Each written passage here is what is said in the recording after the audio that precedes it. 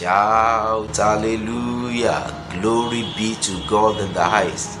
I want to welcome you to the month of December and especially to this program, Speak to the Month. Before we go on further, I would like to extend a special invitation to you to make plans to attend the Holy Ghost Congress 2020. This program is themed It's Time to Fly and will take place from Monday, December 7th through to Friday, December 11th. Monday to Thursday will be virtual hearing on Dove Television, on Star Times, Go TV, and DSTV. It will also be heard on all our social media handles. However, Friday, the grand finale, that's December 11th, will be gathering physically for the first time since March at the Redemption Camp. I want to encourage you to plan to attend and observe all the COVID 19 protocols. Ministering is our Father in the Lord, Pastor E.A. Adeboye. I trust that as you attend that program, you will fly in Jesus' name. In this month of December, prophetically, it has been declared our month of better ending. Our month of better ending.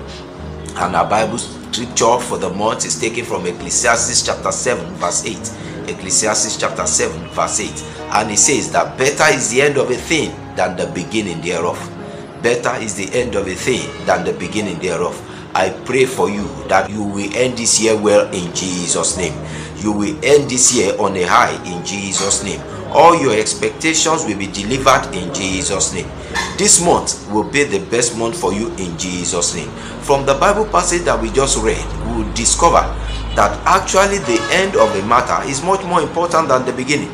The end of a matter is much more important than the beginning.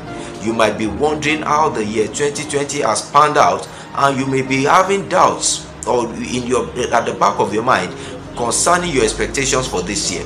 The Bible speaking in the book of Jeremiah chapter 37 verse 27. Jeremiah chapter 37 verse 27 says that God is the God of all flesh and nothing is too difficult for him, which means including your own thing, it will not be too difficult for God.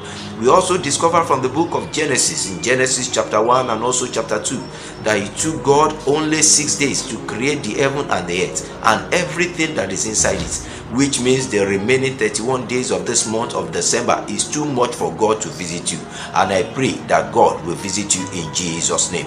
Begin to speak to the month of December. Begin to speak. Begin to speak. Say, Father, I pray that this month will be the best month for me. Father, I pray that supernaturally you will meet all my needs. Father, I pray that in this month of December, all my expectations will be granted.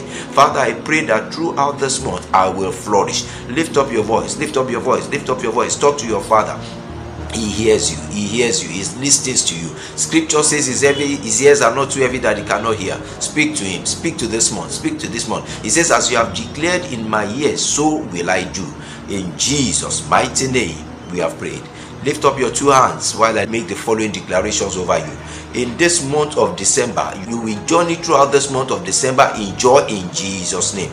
You will end this year on a high in Jesus' name. Supernaturally, all your expectations shall be met in Jesus' name. In this month of December, your business will flourish in Jesus' name. Your career will flourish in Jesus' name. God will arise on your behalf and He will not be late for you in Jesus' name. In Jesus' mighty name, we have prayed.